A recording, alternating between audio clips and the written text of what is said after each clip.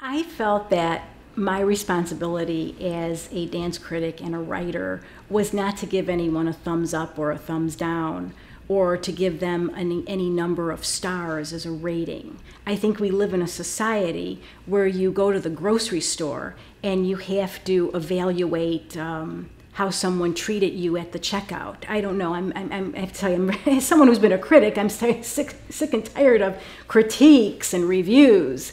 They're all over the place with uh, varying degrees of agendas. I felt that the responsibility is to first and foremost respect the artist. That you don't go in there having an axe to grind that um, if you go in, you know, you, you want to appreciate and love what they do. And I think that's why I so enjoyed when I, whenever I was writing pieces about the process, when I could be in a rehearsal, when I could be among the artists, that I wasn't looking for perfection. I wanted to learn something. What are the ideas coming out? What is the point of view of the choreographer? And what are the dancers bringing to this experience? I don't think they're just vessels for a choreographer's vision. And how are they taking me to a new place? how are they allowing me to see something in a new way or in a different way? I would i would watch a performance first of all as if i were an audience member seeing it for the first time but i also had to put my critic cap on and say okay I, well I, I do know what's happening here. I understand composition. I understand how the process. Okay. Uh, how is this speaking to me how is it not why isn't it speaking to me and i had to be as specific as possible never ever want to attack anybody personally.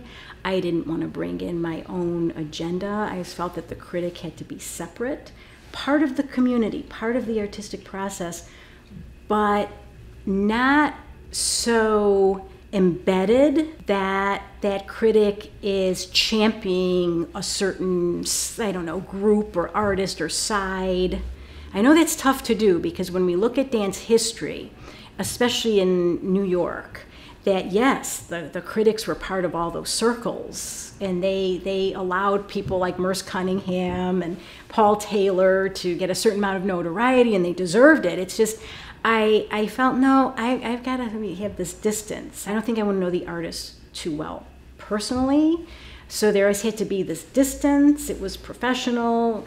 And, um, and it was never about discovering the next great talent it was, uh, you know, uh, about storytelling. And I think that um, storytelling affects all of our lives.